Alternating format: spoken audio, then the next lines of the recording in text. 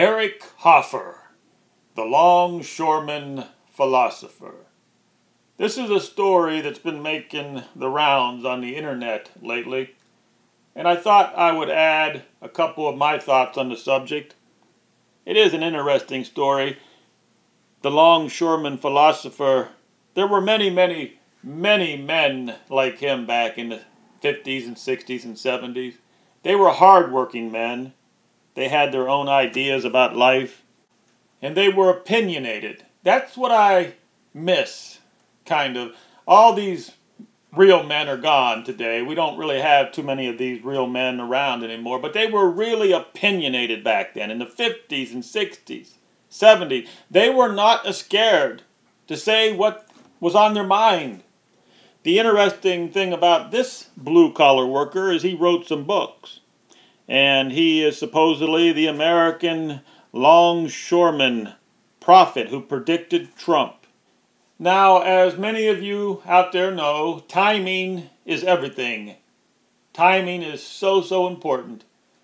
The interesting part of this man's life is that he would have been around 30 years old when the Great Depression started. So he experienced the Great Depression when he was third in his 30s. He was not really a baby. He was not too old. He was not too young. So he really got to live some interesting times. And of course, the 1930s were really, really tough on America. There were many communists out there. People said, hey, this capitalistic thing is not working. There was really a battle against capitalism back then when nobody had a job people were starting to think, hey, maybe communism is looking good. And that's why there was uh, a battle with McCarthy. later on in 1947, there was so many of these commies that had, had infiltrated Hollywood, that were trying to infiltrate the government, and these commies did not have loyalty to America. The reason why I'm bringing this all up is because basically history is just repeating itself. Some people say that history rhymes. It's not going to be exactly like back then, but it's going to be very, very close. And of course, Donald Trump rode the coattails of nationalism. He rode it right into the Oval Office. He said everything that the Americans wanted to, wanted to hear, whether it was a lie or not. It had to be about, it was about nationalism and it was about loyalty to America because many Americans today feel that the people in government are not loyal to America. They're loyal to a foreign power. We know who that foreign power is. The young kids today, they're confused. They don't even know what fascism is. And they say, fascism is so 1930s.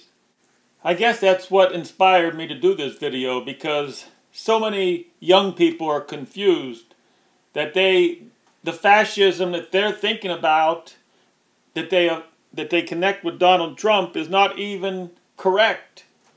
But we are in a fascist state already.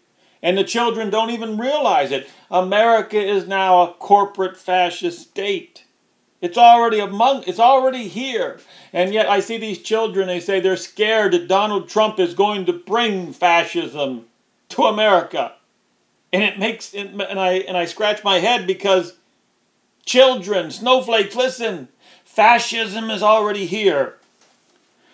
And that's, of course, what we're talking about today. If you really do dig into Donald Trump, oh, everybody that surrounds Donald Trump is part of a huge corporation. When the government wants to do anything, whether it be a biometrics on the border, the government always asks the corporation, how are we going to do this?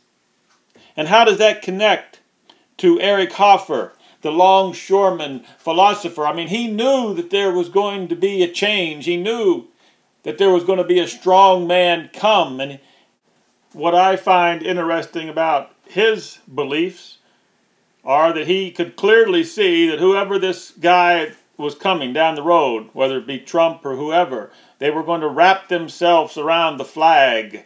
God bless America. They were going to be holding a cross and they were going to use religion. But more importantly, there had to be a bad guy. There had to be a devil. And that devil, of course, was Hillary Clinton. So Donald Trump did play into that playbook.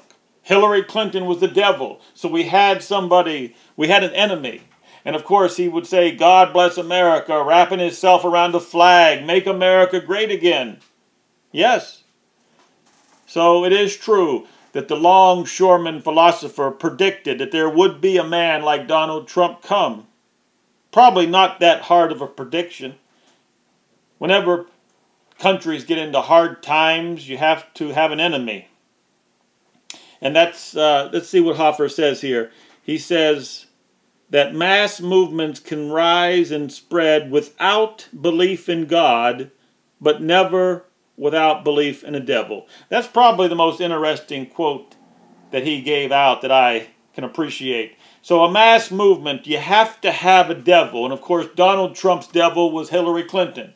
Donald Trump does not win without Hillary Clinton. Hillary Clinton personified evil, corruption, and government. Turns out Donald Trump is controlled by the same corporation, has the same Goldman Sachs, Wall Street scum. And here we are. So, another reason why I wanted to make this video is because I found some old 1940s photographs of the port of Los Angeles in the 1940s. And they had 3,000 longshoremen back then that worked. There was a there was a job available to people back then. When when Hoffer was around, all he, he said all you had to do was have a strong back and a willingness to work, and there was a job. Today, that's the different part of it. And of course, today would be sort of like in the 1930s. What Hoffer experienced in the 1930s, we're going through that today because there really is no good job for anybody.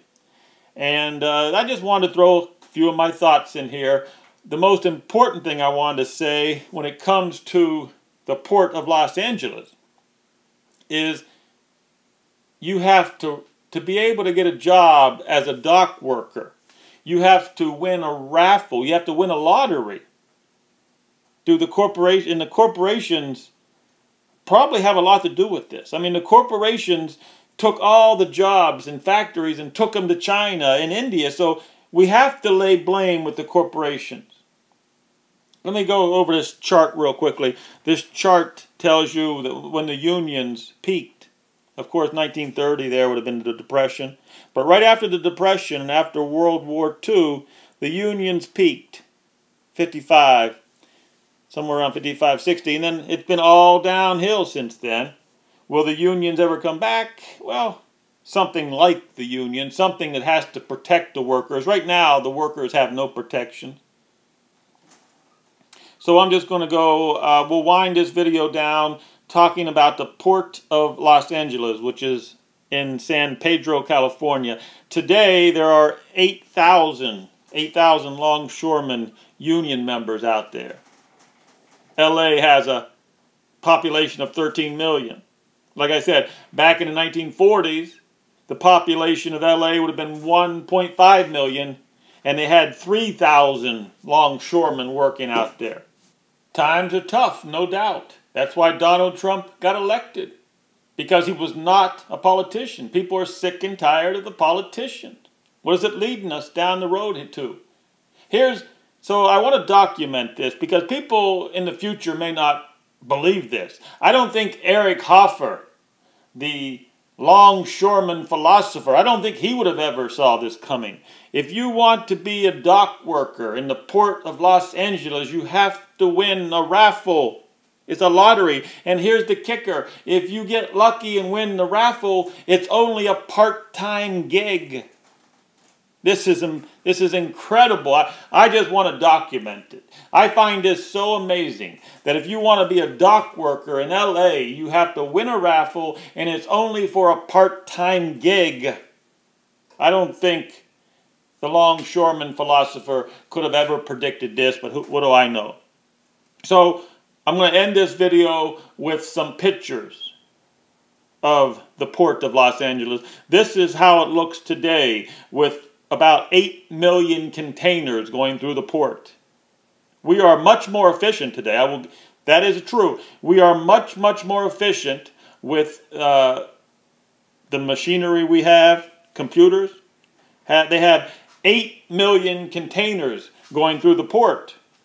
They called it a harbor back then. Here's, here's what the harbor looked like back then. There were no containers. There was much, much work to be done. There was lots of building. This, uh, like I say, this is in the mid 1940s.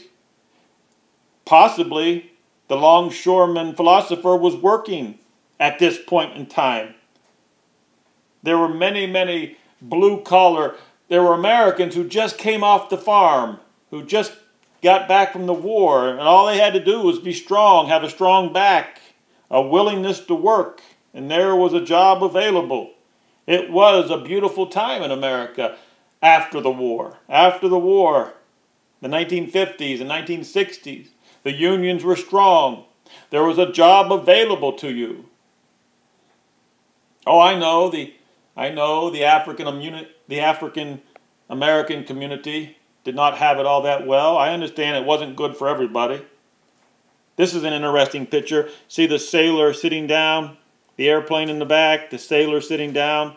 So I just wanted to share these pictures of the port of Los Angeles, the mid 1940s, and it kind of inspired me to talk about Eric Hoffer, the longshoreman philosopher who predicted that Donald Trump was going to come wrapped around the flag. God bless America. Make America great again. Everything he's doing is for the corporations.